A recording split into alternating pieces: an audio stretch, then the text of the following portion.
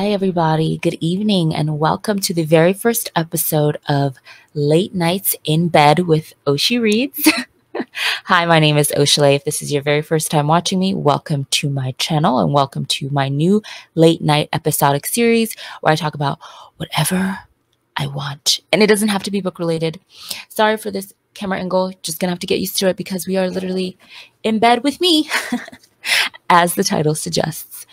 So tonight we are going to be talking about dun dun dun, dun cancel culture. Yes, we are going to be talking about cancel culture, y'all, because authors have been behaving very, very badly out on these streets. And a lot of my other fellow booktubers and book bloggers have already talked about it. And now it's it's my turn. It's my turn to talk about it. And you know, it's been very interesting because I've had so many thoughts going through my mind. On one hand, I'm not shocked and I'm not surprised by the things that I've seen, by the things that I've heard. But on the other hand, I continue to be disappointed, right? Because when you're a reader and when you really read a book that touches you, that moves you, that becomes one of your favorite books, you also then sort of have this idea that the person who wrote the book is a good person. Oh. Oh, how flawed that idea is because more than likely they are just a human being, just like you, just like me, just like everyone else. It does not guarantee the content of their character is very high. It does not guarantee that they do not have problematic ideologies, that they do not hold very prejudiced beliefs and have belief systems that are antiquated and outdated. It does not mean that they won't mess up, that they won't say things that are really hurtful, that they won't do things that are troublesome. You know, they're just human beings. And yet, where do we draw the line, right? Where do we kind of say we're going to separate the author from their work? And then where do we also say we're going to hold them accountable to the things that they're saying and doing that are harmful to a community, various communities, to people, um, more than likely, people who have read it enjoyed their books. So that brings me to this video. Now, I made a video about cancel culture years ago. Years ago. Um, why did I say that? At least a year ago now. And it's been a while since I've watched that video. In fact, I don't think I've watched it since I posted it. And when this whole discussion came back up again of you know, holding authors accountable to the things that they say, to their beliefs, you know, listening to their apologies, but really dissecting and seeing which ones are performative, which ones seem genuine. Cancel culture came back up. And this video gained traction again with people. And more recently, I received an Instagram DM from somebody who had recently seen the video and found my channel and really poured out their hearts to me in the Instagram DM messages and shared, you know, their thoughts on the video. So I thought, why don't we rewatch it together? Because honestly, I haven't seen it since then. I don't know if my thoughts have changed because I don't remember what I said in that video. And I feel like I may have different views now on some of the things that I said. So I just thought it would be interesting for us to revisit that video. Let's see. I'm going to try to share the screen. Oh, my old intro.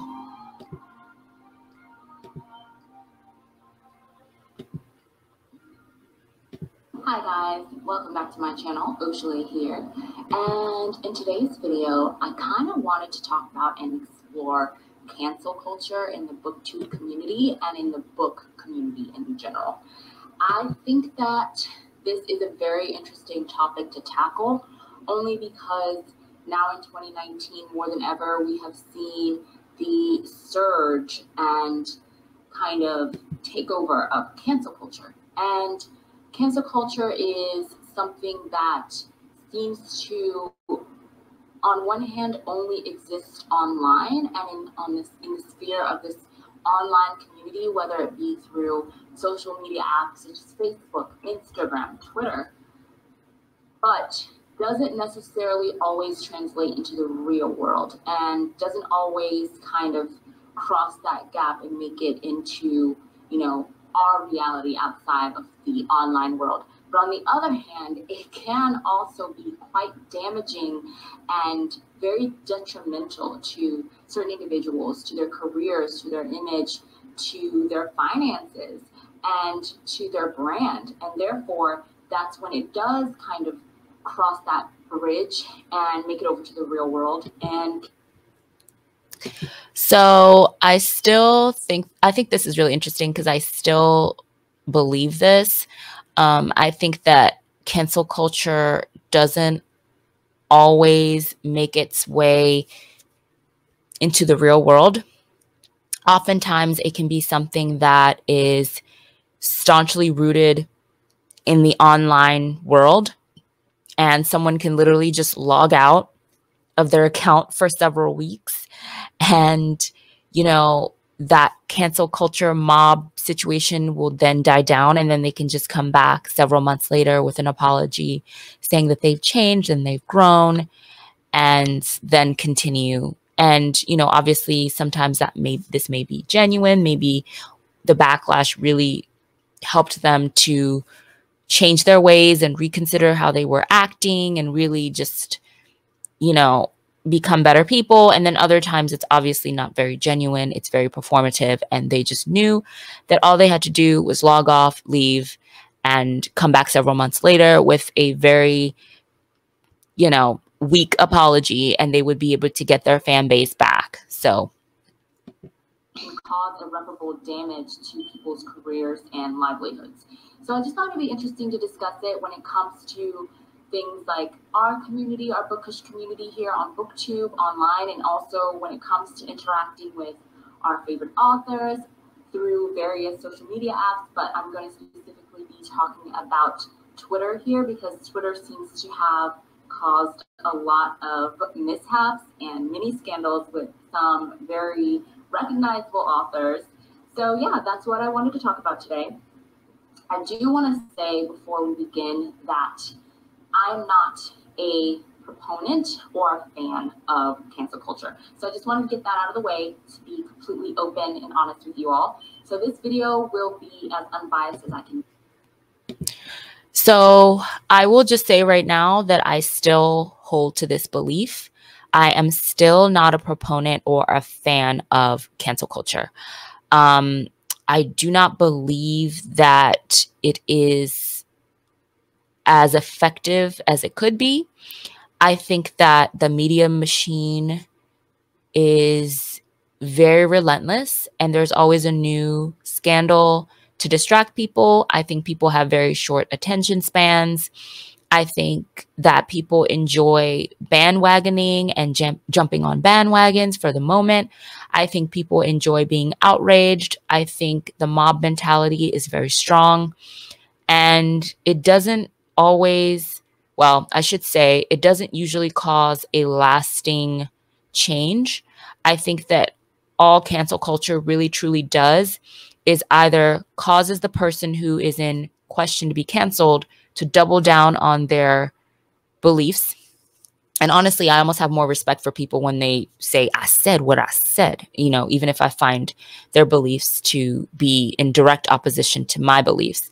But it either causes the person to double down even stronger, or it causes them, you know, once enough backlash has, you know, been garnered, to now come with this apology that seems very insincere because they were completely unapologetic until things got too hot, you know, it got a little too hot in the kitchen and now all of a sudden, they're like that meme of the dog and the house on fire all around it going, it's fine, when it's really not fine. And it's clearly not fine.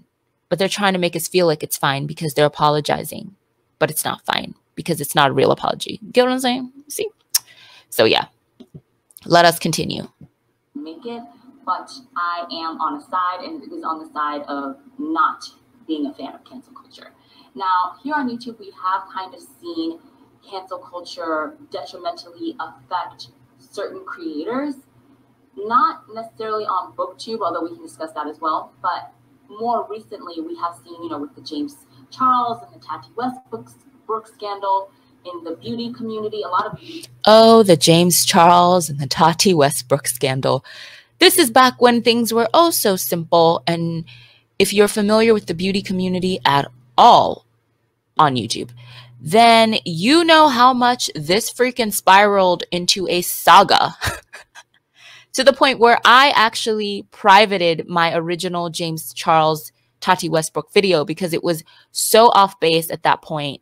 Because once new revelations fully came to light, I could not keep that video up. But I digress. Community scandals, uh, you know, Jeffree Star, and you know now more recently Jaclyn Hill with her Jaclyn Hill Cosmetics huge scandal that just keeps keeps to be just seems to keep growing bigger and bigger and more and more as the weeks go on. I will say this though. I, this almost proves my point from what I was saying earlier because Jaclyn Hill is fine. She's fine. You know, she still gets millions of views on her videos. She still has supporters. She still has people that love her. She still has people that are buying her things. Um, Jeffree Star is fine. He's fine. Um, I will say that James Charles is not so fine, so fine as of this week. They YouTube demonetized his entire channel, but that's because of the allegations that we will not discuss because I don't want this video to get demonetized. But the SA assault, S assault allegations um, that have been coming out about him, I'm not going to go much more into that, but yeah.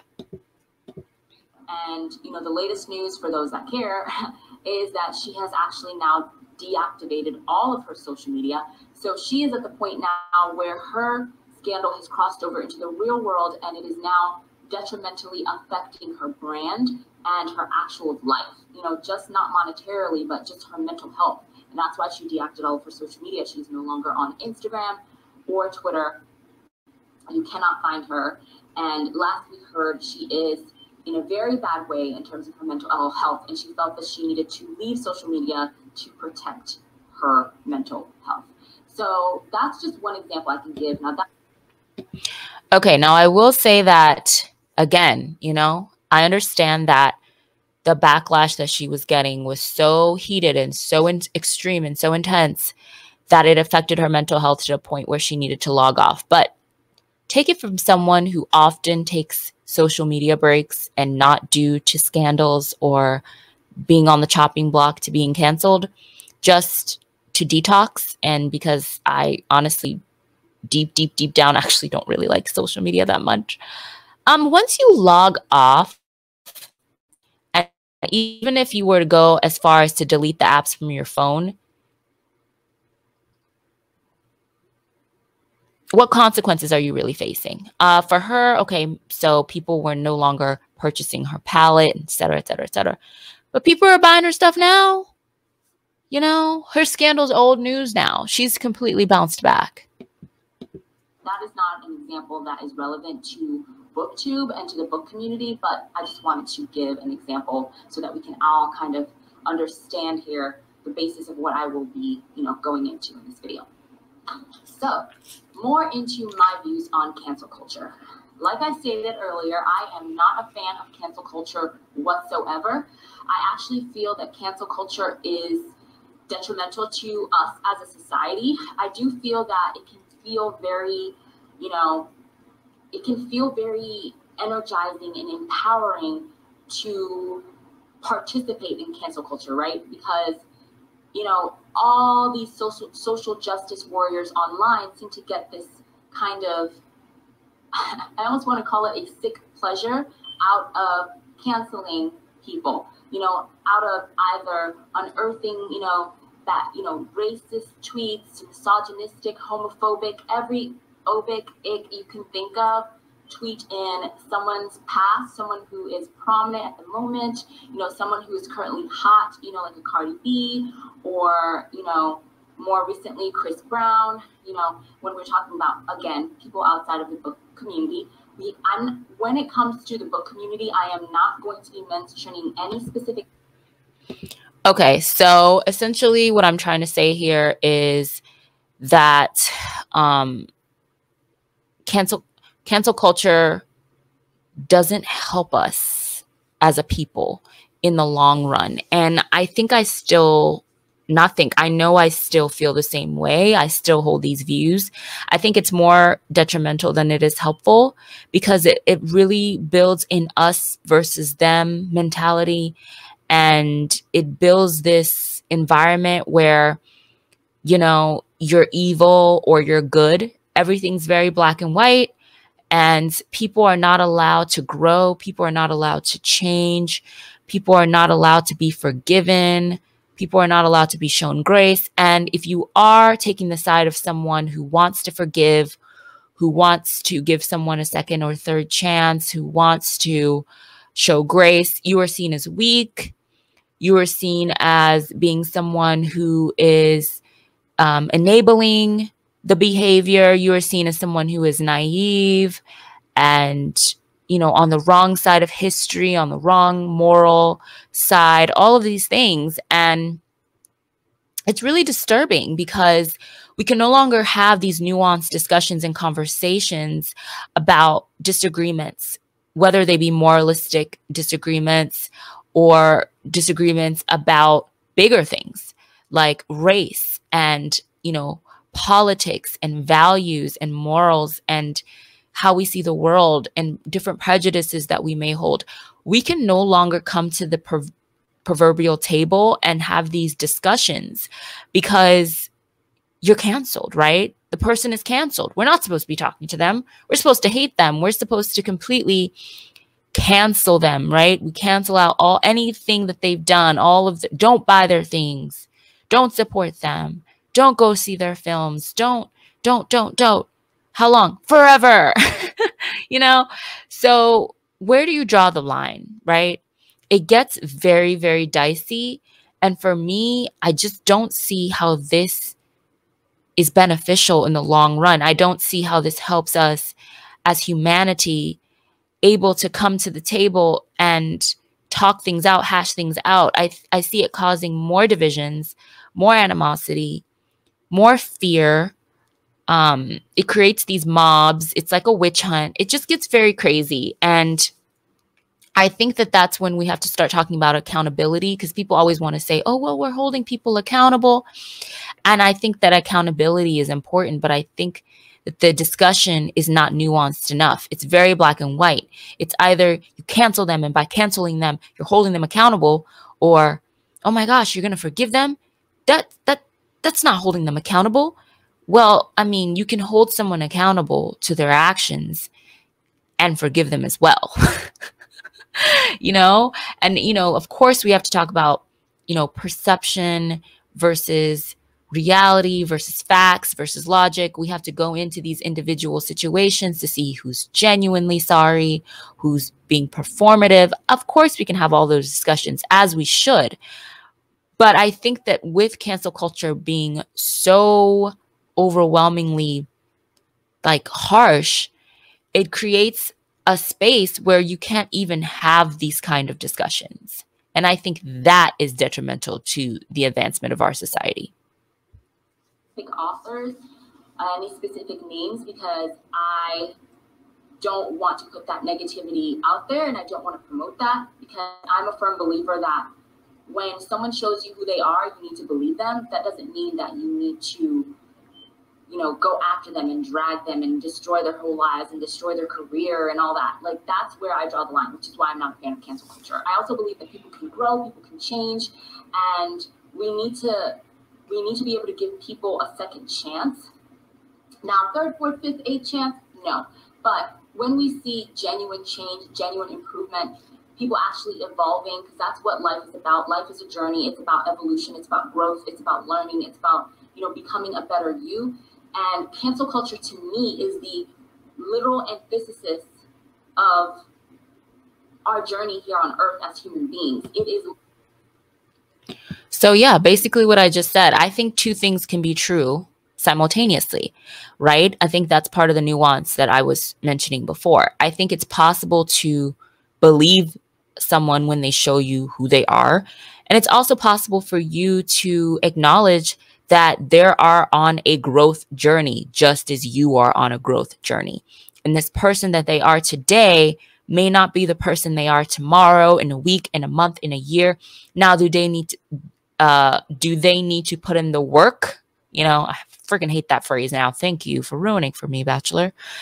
But um, do they need to put in the work? Well, just also just ugh, put in the work. It's just so triggering now. Um, yes, of course they need to put in the work and we need to see that work and we need to see that change. We need to see that growth, of course. But, you know, we need to also give them a chance to grow, to change. And especially when it comes to digging up people's past from 10, 20, 30 years ago. I mean, come on, especially when it's clear that they've changed, they've grown, they're different now. And it sucks. You know, a lot of things, you know, the internet isn't, you know, that old, but a lot of things, you know, if it's online, it's forever. And people's old tweets are used against them. Now, if they're clearly the same character as they were when they made those original tweets, absolutely, you know, not good. Discussion needs to be had. If you see that they are not the same person, a discussion needs to be had. But it seems like across the board, the conclusion of this discussion is cancel them forever, which I just don't think is what good does that do? Literally against everything that we were put here to do.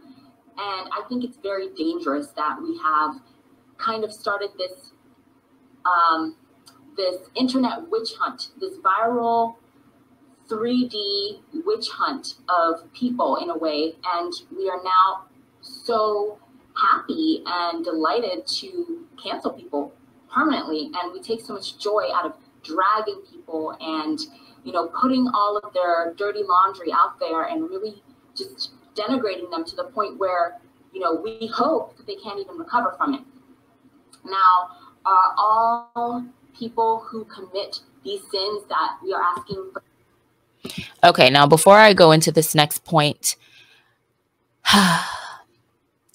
I think there's a difference between having a critical discussion about things that people has have done that have hurt people, that have hurt communities, especially with everything that's gone on this past year with just everything that's gone on with the Black Lives Matter movement, all of the protests, the recent uh, verdict of Derek Chauvin. It's a lot. And I think that cancel culture almost took on a new identity, a new dimension where it really freed people to be able to speak their truth when it comes to racial disparity, when it comes to racism and the racism that they've faced and they've experienced, when it comes to speaking up on their truth and standing up for, you know, justice and being able to say, this is not okay and I'm I'm tired of this. And white society, please do better. Please educate yourselves. Please see what's going on. I think cancel culture did take on a, a new face almost, where it was propelling things forward in a positive direction. But in a weird way, I think we stalled. We're, we're stalled right now in this place where everything is online and everything is very performative right now. And we have people who are actually real life activists that are fighting for laws to be changed and are fighting to elect certain officials and are fighting for people's voices who need to be heard to be heard and for the right people to have the right microphones in front of them and to stand on the highest platforms possible so that we can actually change the world for the better. Um, that's not to be confused with your social media activist who just shares memes and reposts things that they haven't even looked into seeing if there's journalistic integrity behind what they're reposting. And I'm guilty of this as well, which is why I've stopped really reposting things as much if I don't have time to look into it. I fell down the rabbit hole too. I fell into the trap too, you know? And yeah, let's go into this next part. I'm going to take it back a little bit. And really just denigrating them to the point where, you know, we hope that they can't even recover from it. Now, are all people who commit these sins that we are asking for them to be canceled for, are all of the, these people equal in their in their malfractions and you know the bad things that they've done? No, they're not. There's certainly things that are worse than others, in my opinion. And, you know, there are certain actions and things that have been done that can be seen as unforgivable. And I can't speak for anyone's community that has been affected. You know, if someone says a homophobic tweet, I cannot speak for the LGBTQ plus community because I'm not a part of that community. I'm an ally, but I'm not a part of it. So who am I to say that that community needs to accept that person's apology who spoke out against them or you know hurt them or said some truly hurtful things, whether it be on a tweet, on Instagram, on Facebook, in an interview, um, online, on, in any forum, you know, even in a magazine, or is even actively doing things in their lives and crusading against the LGBTQ plus community, who am I to say that they, they should now accept that person's apology if that person apologizes? And I still wholeheartedly believe this because I know how frustrated I felt as a Black person where non Black people have tried to tell me how I should feel or how I should respond about something or how I should act. And it's been very frustrating, you know? I'm not your Negro, you know, James Baldwin. Um, yeah, it's very frustrating when you're you're up against that. So I fully, fully, fully still stand on this. If I'm not a part of the community that's been affected by whatever this author has said or done, I'm not going to speak for that community. I'm going to stand in allyship. Um, I'm going to be completely honest and transparent here. One of the things that has been particularly hard has been two authors in, in particular, J.K. Rowling and Chimamanda Ngozi Adichie. And I'm naming names in this video because I think we've moved we've moved past mm, mm, we've moved past that place where we hold our tongues because negativity. And I know I said that earlier in my last video, and this is where I've I've really changed and I've really differed. Differed. I don't I'm not even using that word right. Where I've really just diverted from that way of thinking is you got to call out the thing, you know? You can't just point at it and say the thing. Name the thing and talk about the thing. So we're talking about the thing. I was actually having a really, really intense conversation with my friend Rachel. Shout out to you, Rachel, uh, about this. She's one of my oldest friends. We went to college together, and she currently lives in London, the UK. And one of the things that we bonded over forever is our love of Harry Potter. And I absolutely adore and loved Harry Potter growing up. It was a huge part of my childhood. And Rachel loves it even more than than I do. She's a super fan. She actually met her husband because of Harry Potter. A lot of the friends that she made in the UK is because of Harry Potter. I mean, it just was this whole world. She went to the conventions. Like it was like this whole thing, right? It was so much bigger than the books and the films for her. And so we were having this conversation recently during one of our WhatsApp chats about this very topic. And how much J.K. Rowling has really, really hurt the trans community with her beliefs and how hard it is for those of us who are not trans, but who count ourselves as trans allies to be able to let go of something that was such a huge part of our lives. And, you know, obviously, don't make Harry Potter and your freaking wizarding house a part of your identity to the point where it's literally hurting people and you can't let it go. That's problematic. But also, we were talking about this whole idea behind censorship, right? And and what you support publicly versus what you do privately. And, you know, by no means do we want to censor people and say, hey, don't read this and don't read that, because that's a very slippery slope. It's giving me Fahrenheit 451 vibes. If you don't know what I'm talking about, you missed out on a great classic. Um, actually, really liked Fahrenheit 451 when I was reading it in English class. Not everyone felt the same way. Oh, well, I liked it. But it's giving me very for- Fahrenheit 451 vibes. It's giving me burn all the books that we don't like vibes. I don't like it, right? So we were discussing this, and I'm like, you know what? It's all about what you support publicly. It's all about what you're pushing. You know, as a book reviewer, as a content reviewer, as someone who has a platform, I'm never going to publicly support something that's hurt people because that's wrong. You know, no amount of love of a fandom or a world or a set of books outweighs people's lives. Plain and simple. Okay. Um, and then another author I brought up is Chimamanda Ngozi Adichie, and I've always admired her. I love all of her books. And her recent comments, again, about the trans community, about women, and who gets to identify as a woman and who doesn't. And um, even her recent interaction with, um, was it Emezi? She wrote Freshwater, and I can, I, I don't want to butcher her name. Emezi Akwaeke. Uh, I'm going to pull her up real quick because I don't like mispronouncing people's names. Let's see here. But her recent comments about this author, who is a non binary trans author, Emezi Akwaeke, Emezi Akwaeke, very troubling, very, very troubling, and very shocking for someone who says she's a feminist and who believes in equal rights and all these things, right? I still haven't been able to wrap my brain around it, to be honest with you. And it affected me to the point where I was asked to be a part of something called the Afrocentric April Booksta Tour on Books Bookstagram, where for a whole entire month, for the whole entire month of April, we've been uplifting African authors. And every single day, there's a different prompt, and we promote different books and different authors.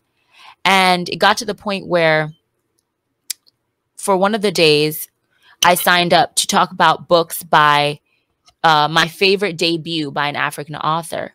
And I had Purple Hibiscus by Chimamanda as the book that I was going to talk about and that I was going to post about. And it hit me like a ton of bricks. I can't post about this. Not after what she said not after how much she's hurt the trans community, not after how much she's hurt the non binary community. I, I can't support this publicly. I can't post about this book and say, hey, and completely ignore the things that she said without having that conversation. And we're supposed to be spotlighting African authors. And I don't want to have to step back, have that conversation, and then like feel awkward about promoting her book as much as I loved Purple Hibiscus. So I changed it. I posted another you know, book by an, an another another debut book that I love by an African author who hasn't said anything problematic, at least as far as I know. Sorry, my computer virus protection. You know how it goes. So I say all that to say it's very, very important to face these things and to recognize that there are consequences. And sometimes the consequences touch our own lives, right? And it's it goes so much further than the authors themselves and the things that they've said. They touch our own lives and we now have consequences. And we now have to be hold ourselves accountable to what we say we believe and who we say we are. And so I'm not going to speak for anyone's community who is affected or who have been affected by, you know, certain people engaging in hate speech or hateful actions. So that's that's my number one thing. You can't speak for anyone. You can only speak for yourself. And if you've been affected personally, then it's up to you to kind of decide how you're going to handle that. Are you going to forgive that person, or if you are a believer in cancel culture, are you going to cancel them? Now, let's talk about the different types of ways that people cancel people, right? And then we'll move more into the, the bookish side of things. So when it comes to cancel culture, there are sort of boundaries in my mind. So even though I say I'm not a fan of cancel culture, I also do believe in non-support.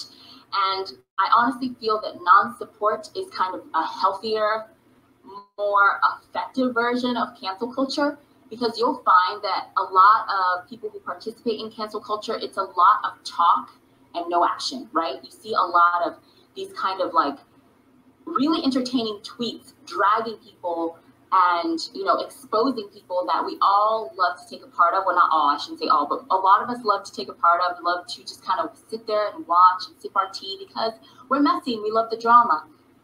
And so you have those people but but when those people log off of their devices when they get off their phones when they're not on twitter anymore when they're not on instagram anymore when they have decided to close their computer and they're not on facebook and they're not in the comment sections of these you know magazines and you know online sites they go on to quietly support these people behind the scenes. You'll have someone driving Jeffree Star for his latest scandal, but then go buy his palette or watch his videos or click on his videos when they're recommended to them on YouTube. You know, you'll have people speak out against certain politicians, but then they won't go vote. You see what I'm saying? It's, it lives only online. And, you know, not only does it live only online, it is the most toxic version of itself. It's where you're, you're, you know, abusing people dragging them, you know, sending messages. Sorry, there's like fuzzies in my lip gloss. Sending messages like, you know, why don't you go kill yourself? Or hope you jump off a bridge, or I hate you, or you suck, delete all your social media, you know, attacking their brand, you know, making it so that individual. So it's so interesting to watch this video back and see how much I still agree with so much of what I was saying, which is interesting but how for me, the topic has grown so much more nuanced. And when I talk about non support, I now realize how personal non support is. Because it's true. We talked about the 24 hour news cycle earlier and how there's always a new scandal and there's always something new to focus on. And people's attention spans are so short, and the outrage, it burns so hot, but it burns out so quickly. And then people are on to the next. And the non support part for me, I've just realized how personal it is because that's where personal responsibility comes in, personal accountability comes in, where you now have to put your money where your mouth is, so to speak. And you have to prove with your actions that your words are true. And, you know, we can't see that. You know, we can't see the non support. You know, I can see your tweets. I can see your Instagram captions. I can see your TikTok book talk video condemning someone or what someone has said or done, but I can't see you not buying their books anymore. I can't see you uh, choosing not to buy their merch. I can't see you, you know, choosing to not to accept books from publishers who continue to support people who are racist and who who you know continue to say racist and really horrific things. I can't see that, right? I can't see you turning down opportunities to work with people who have hurt certain, you know, marginalized communities. I can't see that. I can only see what you put online. So that's where the place where non support I've realized now is very personal. And it is very much like where do you draw the line? Because again, I don't believe in censorship and I don't believe in banning people from reading books, certain books. I just don't. Um, but I do believe in putting your money where your mouth is. And if you say that you don't support something, then you have to actively not support it. You know? You have to actively not support it in whatever ways that works for you and whatever that looks like where a company can no longer go online because of all of the hate, the hate, all of the comments. Uh, you know, people's mental health starts to be in danger because you have people sending you messages that they hate you, to go kill yourself, to go jump off a bridge, all this crazy stuff, right? Toxic.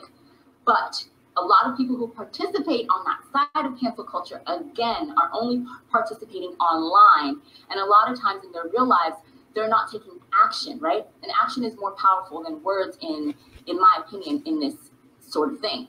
So they're saying all these hurtful things, hateful, horrible things, you know, participating in the negativity, the toxicity online. But then once they log off, they're doing something completely different behind closed doors and in real in the real world.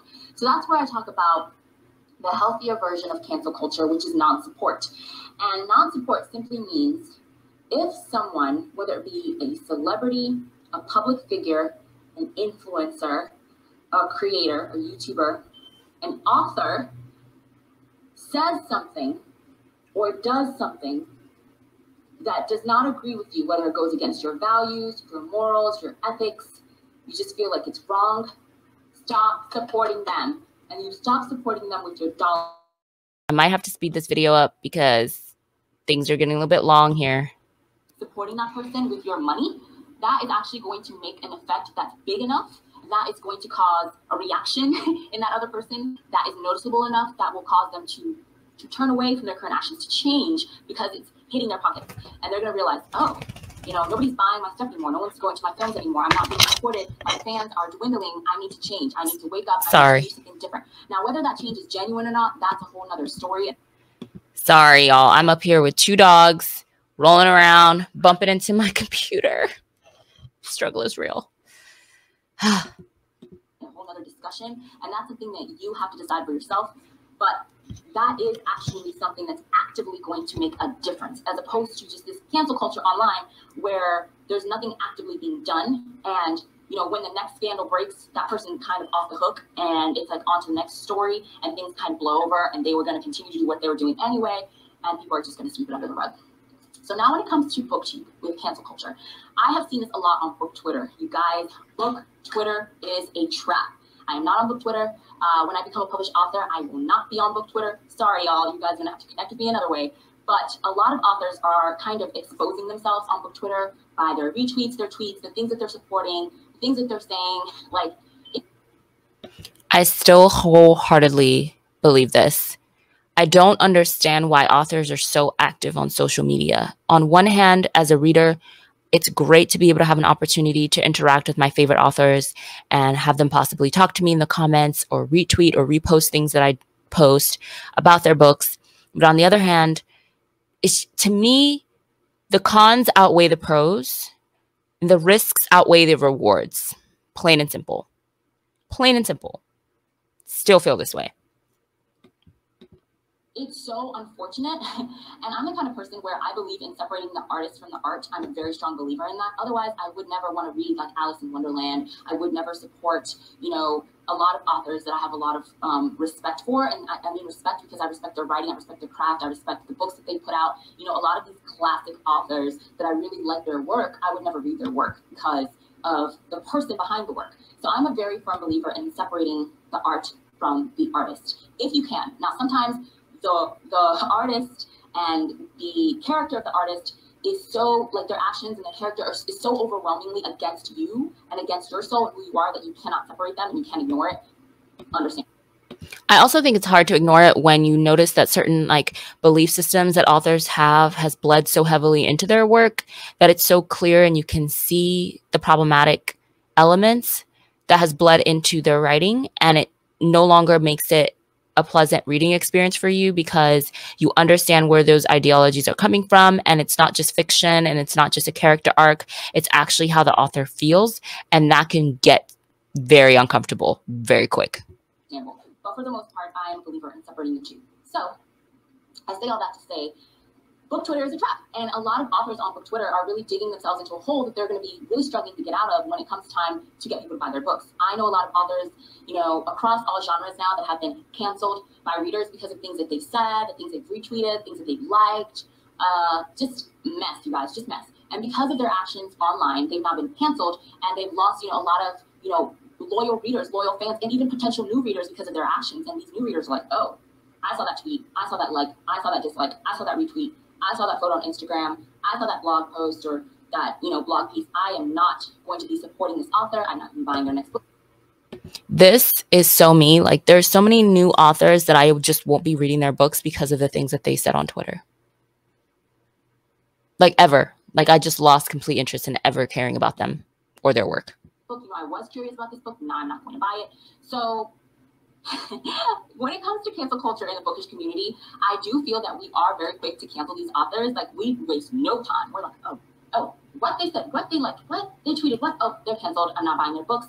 You know, we go on these huge campaigns to cancel these people, and I just think that it might be a bit premature. I think we need to start to actively practice trying to separate the artist and the art a little bit more. Um, also, I feel like authors, y'all need to get off book Twitter if you can't stop getting yourself in trouble and stop getting yourself into these scandals. What happened to just being on social media to promote your books and just being chill and low key. Instead, things get very, very personal and not in a good way. I understand wanting to connect with your fans, but some of the things that some of these authors are doing online is like, ay, ay, ay, you gotta have a divide, okay? You need to keep your personal life behind the scenes and understand that you are, you know, a recognizable name now, and whatever you do, people are going to connect that to your work. You know. I still wholly believe this. I think that this may be a bit con- well it's not controversial but i think that it may be a little bit stifling some people may think or restrictive but you are a brand once you become a published author whether you be self-published independently published published by a big um publisher, whatever, published, okay? Published. People are reading your work. You have to understand that you're now a public figure, okay? No matter what you say or do, I'm starting to talk like the warp speed. no matter what you say or do, it's going to be attributed to your work.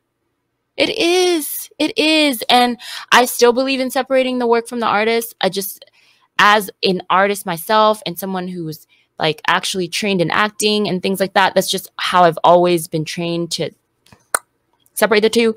And there would just be a lot of things that I wouldn't be able to enjoy if I wasn't able to separate the two. That's just life.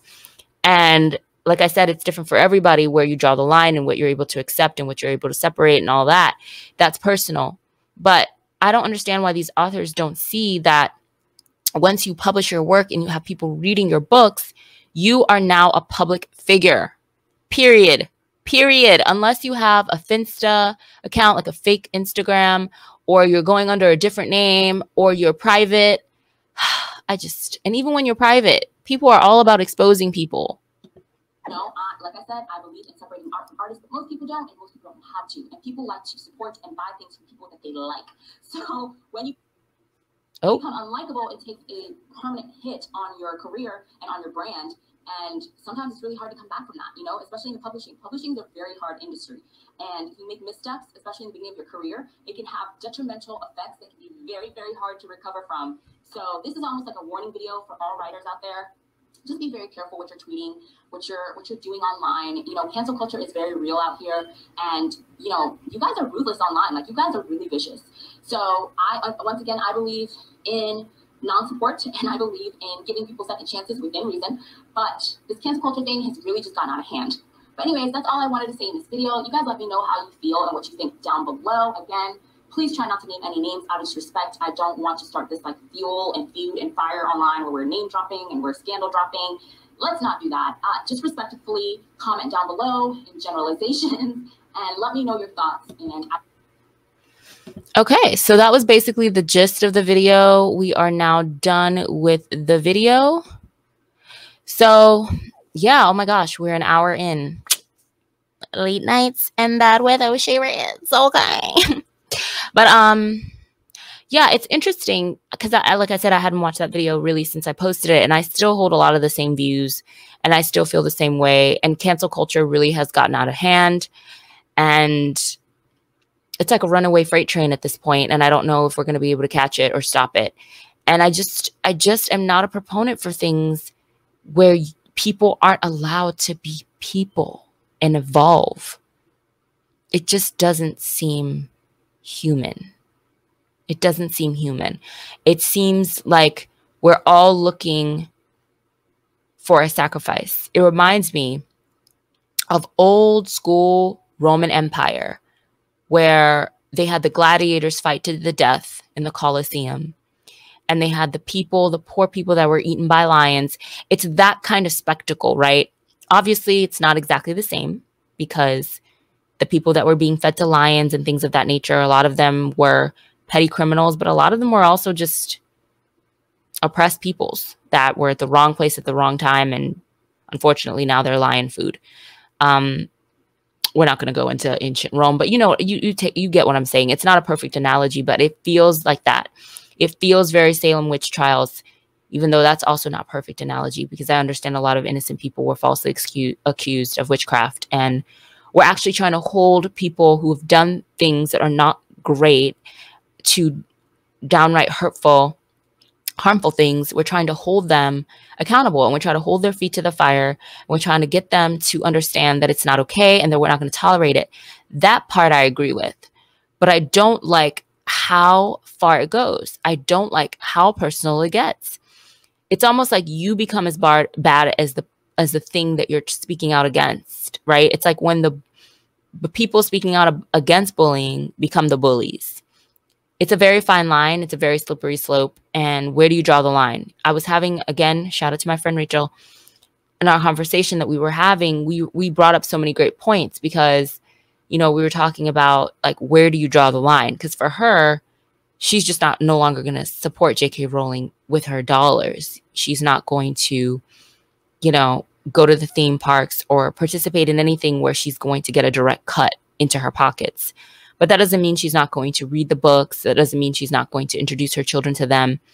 But she's going to be able to have a nuanced discussion with her future kids because, you know, you have to be able to dissect J.K. Rowling's work and see if any of her harmful ideologies have bled into her writing.